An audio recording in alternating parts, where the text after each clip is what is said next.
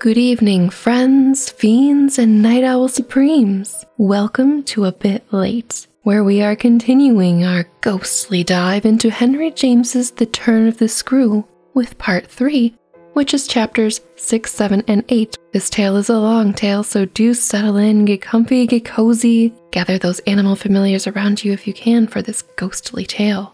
And of course, grab some sustenance, snacks, beverages, coffee, tea, candy. Candy? Hey, whatever you gotta do. But last we read, we left it on a cliffhanger, a very big cliffhanger. And I will briefly summarize everything up to this point. Last time, the governess had fallen so much under the spell of her charges, she cannot imagine anyone wanting to expel the angelic Miles from school.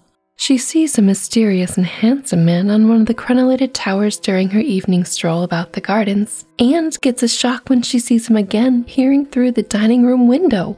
So far, she has told no one about this.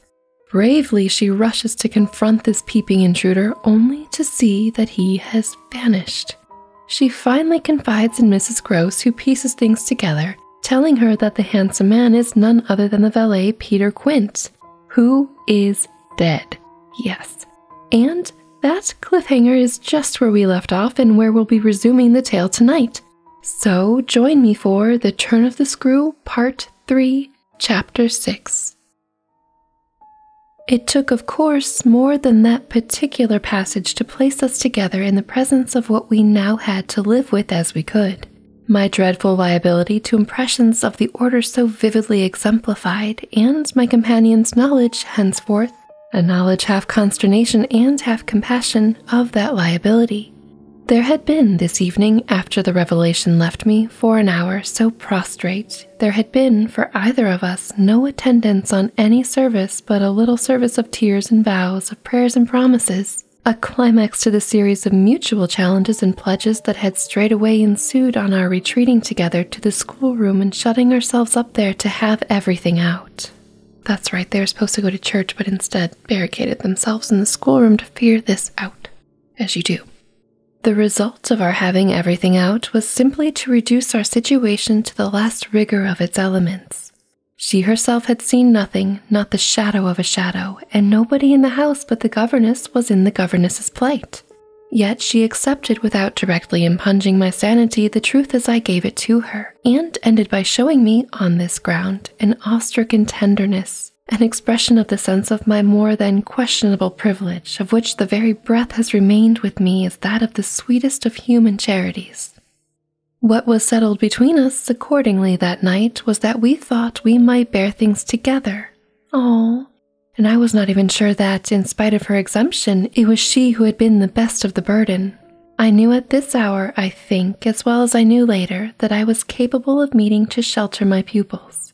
But it took me some time to be wholly sure of what my honest ally was prepared for to keep terms with so compromising a contract. I was odd enough company, quite as odd as the company I received.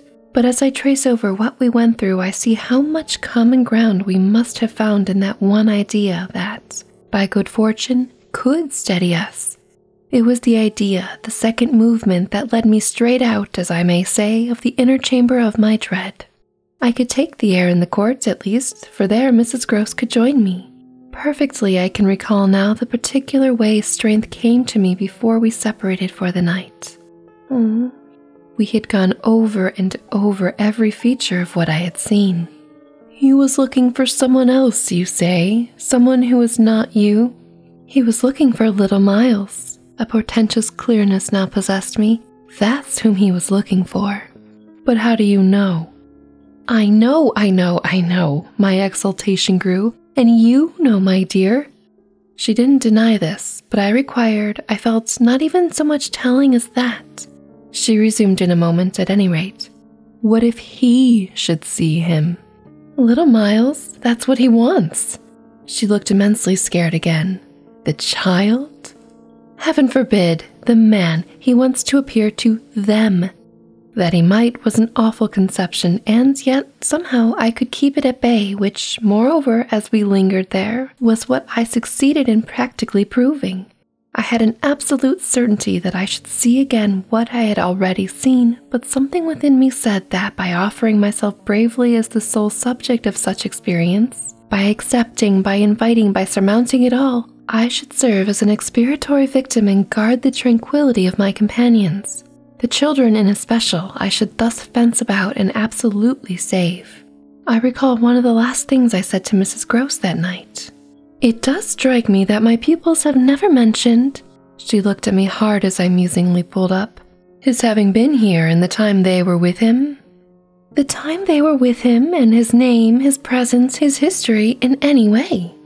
Oh, the little lady doesn't remember. She never heard or knew.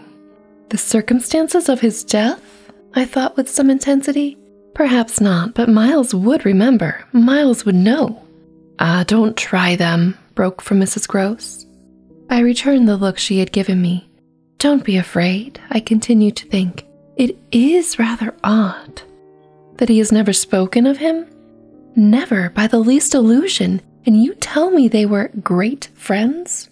Oh, it wasn't him, Mrs. Grose with emphasis declared. It was Quint's own fancy. To play with him, I mean, to spoil him. She paused a moment and then she added, Quint was much too free. Oh, I don't like that. This gave me, straight from my vision of his face, such a face, a sudden sickness of disgust. Same. Too free with my boy? Too free with everyone. I forbore for the moment to analyze this description further than by the reflection that a part of it applied to several of the members of the household, of the half dozen maids and men who were still of our small colony. But there was everything for our apprehension in the lucky fact that no discomfortable legend, no perturbation of scullions, and even within anyone's memory attached to the kind of old place. It had neither bad name nor ill fame, and Mrs. Grose most apparently only desired to cling to me and to quake in silence. I even put her, the very last thing of all, to the test. It was given at midnight she had had her hand on the schoolroom door to take leave. I have it from you then, for it's of great importance, that he was definitely and admittedly bad. Oh, not admittedly. I knew it, but the master didn't. And you never told him. Well, he didn't like tale bearing. He hated complaints. He was terribly short with anything of that kind, and if people were all right to him, he wouldn't be bothered with more. This squared well enough with my impression of him, he was not a trouble loving gentleman, nor so very particular perhaps about some of the company he kept. All the same, I pressed my interlocutress. I promise you, I would have told. She felt my discrimination. I dare say I was wrong, but really, I was afraid. Afraid of what? Of the things that man could do. Quint was so clever, he was so deep. I took this in still more than probably I showed. You weren't afraid of anything else, not his effect? His effect? She repeated with a face of anguish and waiting while I faltered. On innocent little precious lives, they were in your charge. No, they were not in mine, she roundly and distressfully returned. The master believed in him and placed him here because he was supposed not to be well in the country air so good for him. So he had everything to say, yes. She let me have it even about them. Them? That creature? I had to smother a kind of howl, and you could bear it. No, I couldn't, and I can't now. And the poor woman burst into tears. A rigid control from the next day was, as I have said, to follow them. Yet how often and how passionately for a week we came back together on the subject. Coming back passionately, much as we had discussed it that Sunday night, I was in the immediate later hours in especial, for it may be imagined whether I slept, still haunted with the shadow of something she had not told me. I myself had kept back nothing, but there was a word Mrs. Grose had kept back. I was sure, moreover, by morning that this was not from a failure of frankness, but because on every side there were fears. It seemed to me indeed, in retrospect, that by the time the morrow's sun was high, I had restlessly read into the fact before us almost all the meaning they were to receive from the subsequent and more cruel occurrences, What they gave me above all was just the sinister figure of a living man. The dead one would keep a while, and the months he had continuously passed at Bly, which, added up, made a formidable stretch. The limit of this evil time had arrived only when, on the dawn of a winter's morning, Peter Quint was found by a laborer going early to work, stone dead on the road from the village. A catastrophe explained, superficially at least, by a visible wound to his head. Such a wound as might have been produced, and as, on final evidence, had been by a fatal slip in the dark and after leaving the public house on a steepish icy slope, a wrong patch altogether at the bottom of which he lay, slipped coming out of the public house. Mm. The icy slope, the turn mistaken at night and in liquor accounted for much, practically, in the end and after the inquest and boundless chatter for everything. But there had been matters in his life, strange passages and perils, secret disorders, vices more than suspected, that would have accounted for a good deal more. I scarce know how to put my story into words that shall be a credible picture of my state of mind, but I was in these days literally able to find a joy in the extraordinary flight of heroism the occasion demanded of me. I now saw that I had been asked for a service admirable and difficult and there would be a greatness in letting it be seen, oh, in the right quarter, that I could succeed where many another girl might have failed. I mean, this challenge of heroism is supernatural, though many people failed. It was an immense help to me. I confess I rather applaud myself as I look back, that I saw my service so strongly and so simply. I was there to protect and defend the little creatures in the world, the most bereaved and the most lovable the appeal of whose helplessness had suddenly become only too explicit, a deep, constant ache of one's own committed hearts. We were cut off, really, together. We were united in our danger. They had nothing but me, and I, well, I had them. It was, in short, a magnificent chance. This chance presented itself to me in an image richly material. I was a screen. I was to stand before them. The more I saw, the less they would. I began to watch them in a stifled suspense, a disguised excitement that might well, had it continued too long, have turned to something like madness. What saved me, as I now see, was that it turned to something else altogether. It didn't last as suspense, it was superseded by horrible proofs. Proofs, I say yes, from the moment I really took hold. This moment dated from an afternoon hour that I had happened to spend in the grounds with the younger of my pupils alone. We had left Miles indoors on the red cushion of a deep window seat. He had wished to finish a book. Oh no, they left him on a window seat? When you know who appeared in a window? Oh no.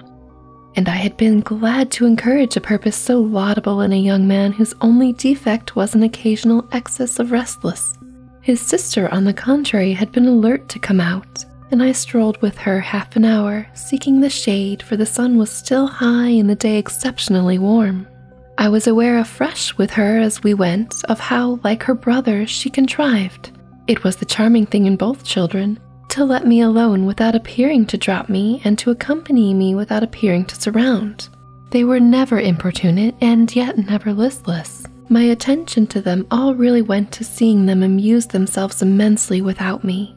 This was a spectacle they seemed actively to prepare, and that engaged me as an active admirer. I walked in a world of their invention, they had no occasion whatever to draw upon mine, so that my time was taken only with being, for them, some remarkable person or thing that the game of the moment required, and that was merely, thanks to my superior, my exalted stamp, a happy and highly distinguished sinecure. I forgot what I was on the present occasion, I only remember that I was something very important and very quiet, and that Flora was playing very hard. We were on the edge of a lake, and as we had begun geography, the lake was the Sea of Azov. Suddenly, in these circumstances, I became aware that, on the other side of the Sea of Azov, we had an interested spectator. Oh no. The way this knowledge gathered in me was the strangest thing in the world. The strangest, that is, except the very much stranger in which it quickly merged itself. I had sat down with a piece of work, for I was something or other that could sit, on the old stone bench which overlooked the pond. And in this position, I began to take with certitude, and yet without direct vision, the presence at a distance of a third person. The old trees, the thick shrubbery made a great and pleasant shade, but it was all suffused with the brightness of the hot, still hour. There was no ambiguity in anything, none whatever at least, in the conviction I, from one moment to another, found myself forming as to what I should see straight before me and across the lake as a consequence of raising my eyes. They were attached at this juncture to the stitching in which I was engaged, and I can feel once more the spasm of my efforts not to move them till I should so have steadied myself as to be able to make up my mind what to do. There was an alien object in view, a figure whose right of presence I instantly, passionately questioned. I recollect counting overly perfectly the possibilities, reminding myself that nothing was more natural, for instance, than the appearance of one of the men about the place, or even of a messenger, a postman, or a tradesman's boy from the village. That reminder had as little effect on my practical certitude as I was conscious, still, even without looking, of its having upon the character and attitude of our visitor. Nothing was more natural than that these things should be the other things that they absolutely were not. Of the positive identity of the apparition, I would assure myself as soon as the small clock of my courage should have ticked out the right seconds. Meanwhile, with an effort that was already sharp enough, I transferred my eyes straight to little Flora, who, at the moment, was about ten yards away. My heart had stood still for an instant with the wonder and terror of the question whether she too would see, and I held my breath while I waited for a cry from her, what from some innocent sign either interest or alarm would tell me. I waited, but nothing came. Then, in the first place, and there is something more dire in this, I feel, than anything I have to relate, I was determined by a sense that within a minute all sound from her had previously dropped and in the second by the circumstance that, also within the minute she had in her play, turned her back to the water. This was her attitude when I at last looked at her, looked with a confirmed conviction that we were still together under direct personal notice. She had picked up a small flat piece of wood which happened to have a little hole in it that evidently suggested to her the idea of sticking in another fragment that might figure as a mast and make the thing a boat. The second morsel, as I watched her, she was very markedly and intently attempting to fasten in its place. My apprehension of what she was doing sustained me so that after some seconds I felt I was ready for more. Then again I shifted my eyes. I faced what I had to face. But what did she have to face, I wonder? The Turn of the Screw, Chapter 7 I got hold of Mrs. Grose as soon after this as I could, and I can give no intelligible account of how I fought out the interval. Yet I still hear myself cry as I fairly threw myself into her arms. They know it's too monstrous. They know, they know. And what on earth? I felt her incredulity as she held me. Why, all that we know, and the heavens knows what else besides. Then, as she released me, I made it out to her, made it out perhaps only now with full coherency, even to myself. Two hours ago, in the garden, I could scarce articulate, Flora saw. Mrs. Grose took it as she might have taken a blow in the stomach. She has told you? she panted. Not a word, and that's the horror. She kept it to herself. The child of eight, that child. Unutterable still for me was the stupefaction of it. Mrs. Grose, of course, could only gape the wider. Then how do you know? I was there. I saw it with my eyes, saw she was perfectly aware. Do you mean of him? No, of her. I was conscious as I spoke that I looked prodigious things, for I got the slow reflection of them in my companion's face.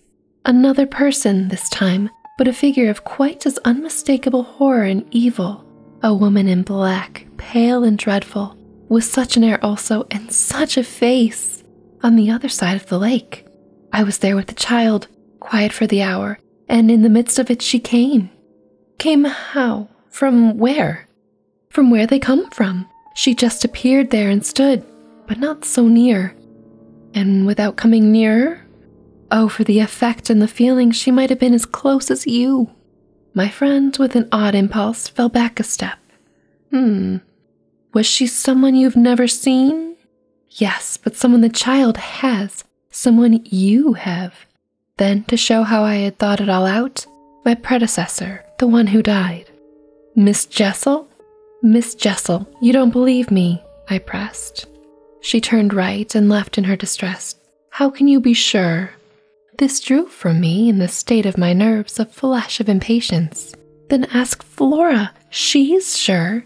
But I no sooner had spoken it that I caught myself up. No, for God's sake, don't. She'll say it isn't. She'll lie. Mrs. Grose was not too bewildered instinctively to protest. Ah, how can you? Because I'm clear.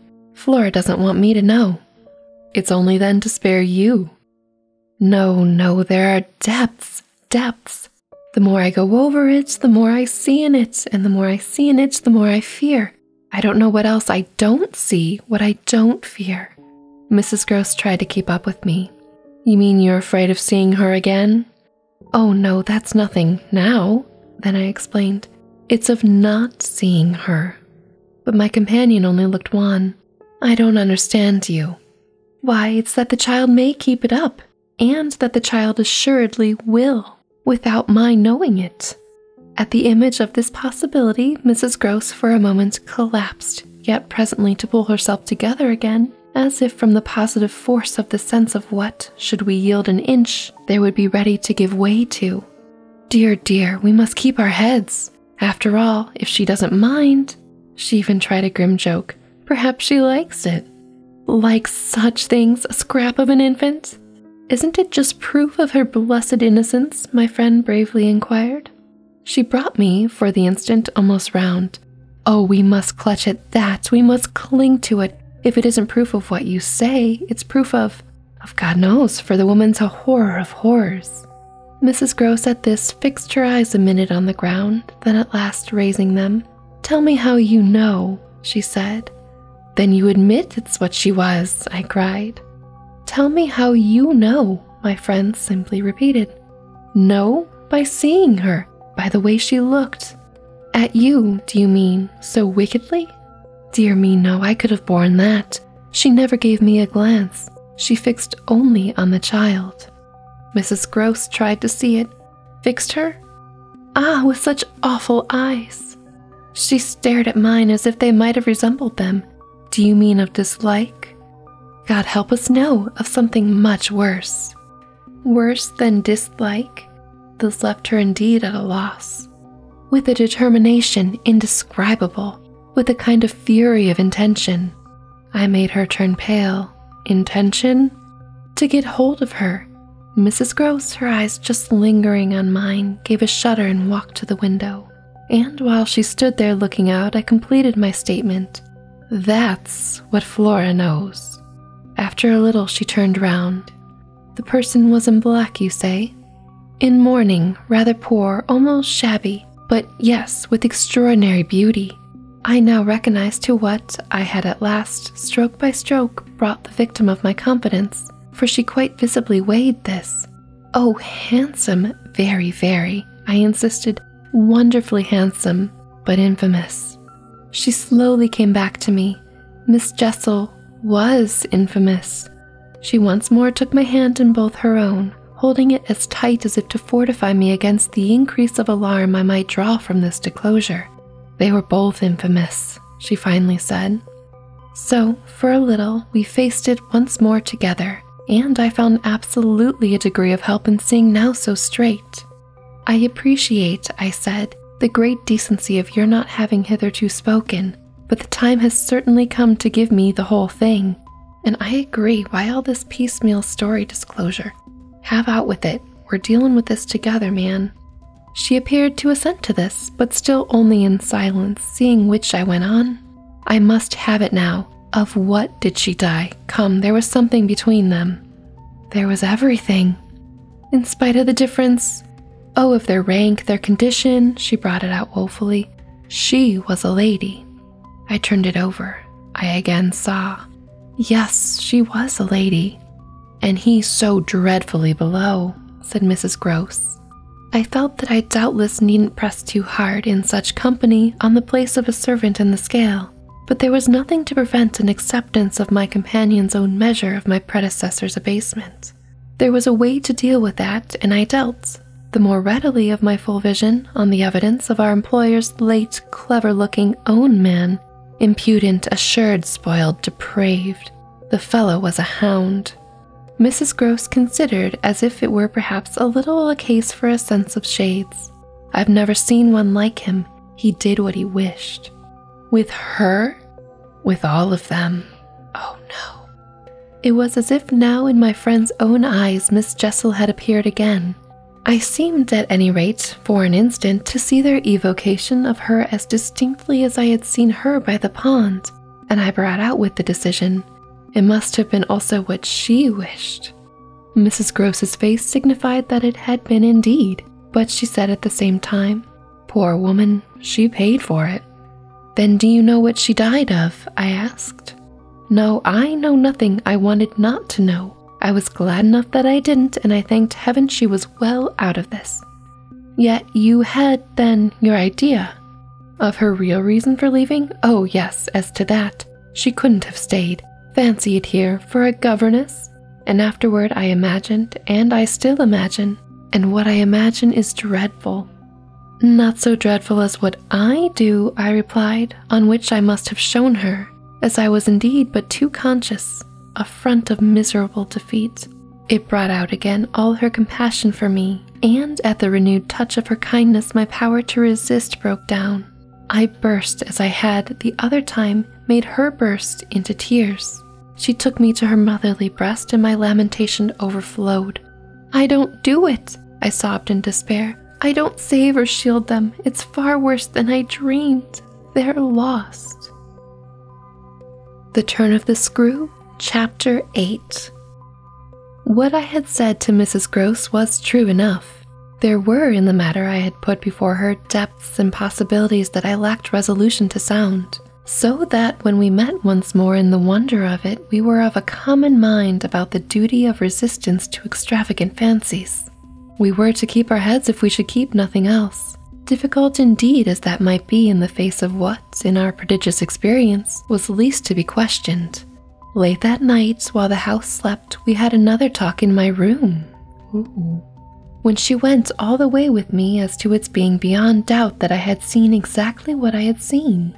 To hold her perfectly in a pinch of that, I found I had only to ask her how, if I had made it up, I came to be able to give of each of the persons appearing to me a picture disclosing to the last detail their special marks, a portrait on the exhibition of which she had instantly recognized and named them. She wished, of course, small blame to her, to sink the whole subject, and I was quick to assure her that my own interest in it had now violently taken the form of a search for the way to escape from it. I encountered her on the ground of a probability that with reoccurrence, for reoccurrence we took for granted, I should get used to my danger, distinctly professing that my personal exposure had suddenly become the least of my discomforts. It was my new suspicion that was intolerable. And yet, even to this complication of the later hours of the day had brought so little ease. On leaving her after my first outbreak, I had of course returned to my pupils, associating the right remedy for my dismay with that sense of their charm which I had already found to be the thing I could positively cultivate and which had never failed me yet. I had simply, in other words, plunged afresh into Flora's special society, and there become aware, it was almost a luxury, that she could put her little conscious hand straight upon the spot that ached. Oh, she's a healer by nature, so sweet. She had looked at me in sweet speculation and then had accused me to my face of having cried. I had supposed I had brushed away the ugly signs, but I could literally, for the time at all events, rejoice under this fathomless charity that they had not entirely disappeared. To gaze into the depths of blue of the child's eyes and to pronounce their loveliness a trick of premature cunning was to be guilty of a cynicism in a preference to which I naturally preferred to abjure my judgments and, so far as might be, my agitation. I couldn't abjure for merely wanting to, but I could repeat to Mrs. Grose, as I did there, over and over in the small hours, that with their voices in the air, their pressure on one's heart, and their fragrant faces against one's cheek, Everything fell to the ground but their incapability and their beauty. It was a pity that, somehow, to settle this once and for all, I had equally to re enumerate the signs of subtlety that, in the afternoon, by the lake, had made a miracle of my show of self possession. It was a pity to be obliged to reinvestigate the certitude of the moment itself and repeat how it had come to me as a revelation that the inconceivable communion I then surprised was a matter, for either party, of habit. It was a pity that I should have to quaver out again the reasons for my not having, in my delusion, so much as question that the little girl saw our visitant even as I actually saw Mrs. Grose herself, and that she wanted, by just so much as she did thus see, to make me suppose she didn't, and at the same time, without showing anything, arrive at a guess as to whether I myself did.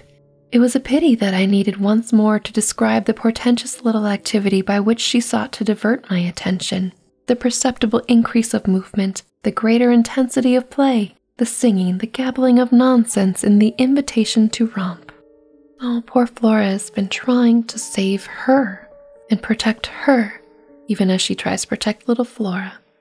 Yet, if I had not indulged to prove there was nothing in it in this review, I should have missed the two or three dim elements of comfort that still remained to me. I should not, for instance, have been able to asseverate to my friend that I was certain, which was so to the good, that I at least had not betrayed myself. I should not have been prompted by stress of need, by desperation of mind, I scarce know what to call it, to invoke such further aid to intelligence as might spring from pushing my colleague fairly to the wall. She had told me, bit by bit, under pressure, a great deal, but a small shifty spot on the wrong side of it all still sometimes brushed my brow like the wing of a bat. And I remember how, on this occasion, for the sleeping house and the concentration alike of our danger and our watch seemed to help, I felt the importance of giving the last jerk to the curtain I don't believe anything so horrible, I recollect saying. No, let's put it definitely, my dear, that I don't. But if I did, you know, there's a thing I should require now. Just without sparing you the least bit, oh, not a scrap, come, to get out of you. What was it you had in mind when, in our distress, before Miles came back over the letter from his school, you said, under my insistence, that you didn't pretend for him that he had not literally ever been bad?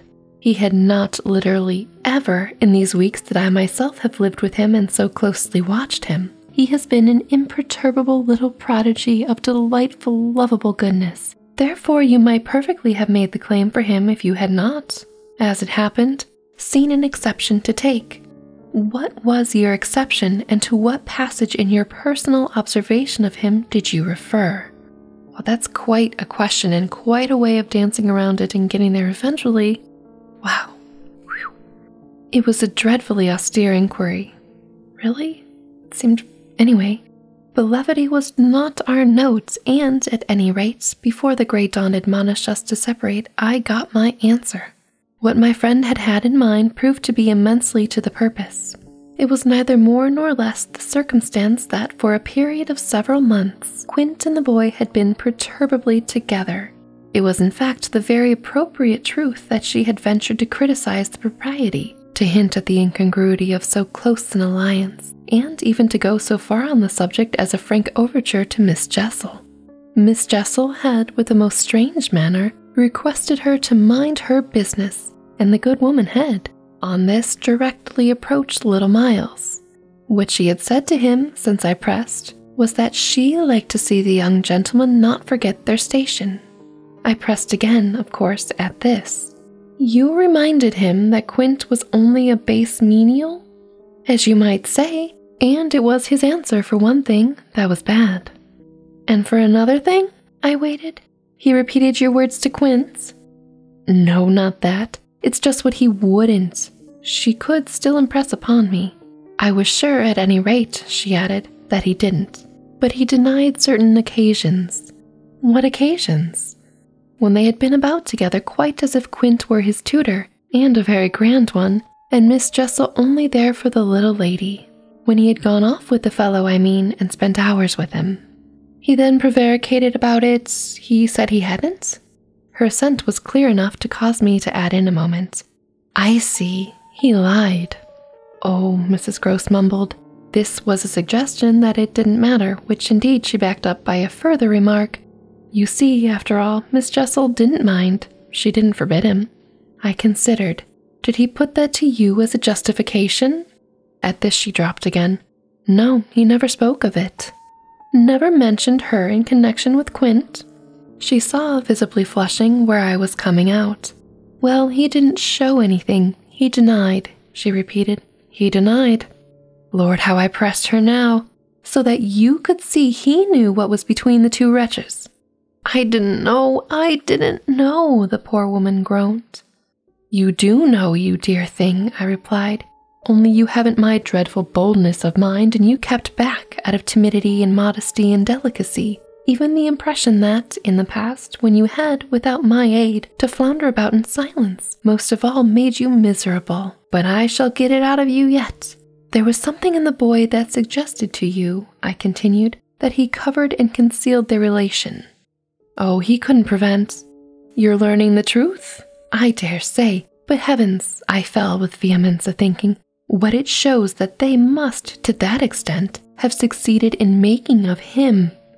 Ah, nothing that's not nice now, Mrs. Grose lugubriously pleaded.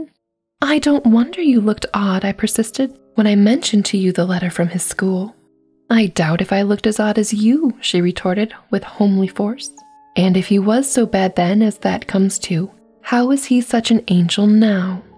Yes, indeed. And if he was a fiend at school, how, how, how? Well, I said in my torment, you must put it to me again, but I shall not be able to tell you for some days, only put it to me again. I cried in a way that made my friends stare. There are directions in which I must not for the present let myself go. Meanwhile, I turned to her first example, the one which she had just previously referred, of the boy's happy capacity for the occasional slip. If Quint, on your remonstrance at the time you speak of, was a base menial, one of the things Miles said to you, I find myself guessing, was that you were another. And again, her admission was so adequate that I continued. And you forgave him for that? Wouldn't you? Oh, yes, and we exchanged there in the stillness a sound of oddest amusement. Then I went on. At all events, while he was with the man, Miss Flora was with the woman. It suited them all. It suited me too. Thank goodness, right? I felt only too well, by which I mean that it suited exactly the particularly deadly view I was in the very act of forbidding myself to entertain. But I so far succeeded in checking the expression of this view that I will throw just here no further light on it than may be offered by the mention of my final observation to Mrs. Grose. His having lied and been impudent are, I confess, less engaging specimens than I had hoped to have from you of the outbreak in him of the little natural man. Still, I mused, they must do, for they make me feel more than ever that I must watch. It made me blush in the next minute to see in my friend's face how much more unreservedly she had forgiven him than her antidote struck me as presenting to my own tenderness an occasion for doing. This came out when, at the schoolroom door, she quitted me. Surely you don't accuse him of carrying on an intercourse that he conceals from me? Ah, remember that until further evidence, I now accuse nobody. Then, before shutting her out to go by another passage to her own place, I must just wait. I wound up. And with that, that's the end of part three, chapters six, seven, and eight. We had a lot of revelations, and we had the appearance of Miss Jessel across the lake, or sea if you're in the game of make believe. But wow, not a lot happened, but we had a lot of revelations about how much the children are involved with these appearing people. And we finally have more information from Mrs. Grose, who I don't know why she concealed all this information. The story probably would be a lot shorter if she had not withheld it from the beginning, but here we are. Regardless, I hope you enjoyed the telling of this ghost story, part 3, and I will see you soon with the next part in another video. But for now, off to sleep and dream what you will, or stay a while and enjoy another tale. Whichever you choose, I'll speak to you again, and until then, Stay spooky, my friends. Good night.